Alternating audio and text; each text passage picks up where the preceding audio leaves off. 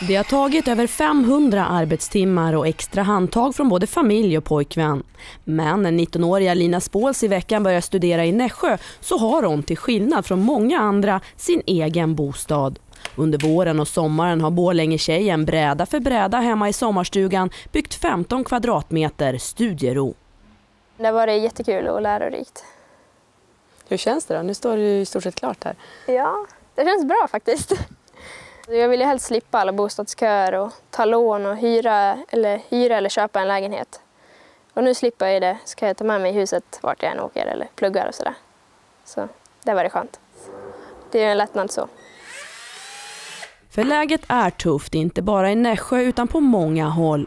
Enligt den årliga bostadsrapport som Sveriges förenade studentkårer sammanställer är nu 13 städer rödlistade. Nykomlingar för i år är Falun och Halmstad där studenter alltså inte kan garanteras en bostad under sin första termin.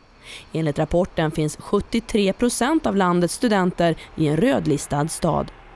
Vi får både rapporter om att studenter måste tacka nej eller hoppa av sina utbildningar. Men de som faktiskt lyckas få tillfälliga bostäder och hanka sig fram måste fundera på hur man löser sin bostad nästa månad.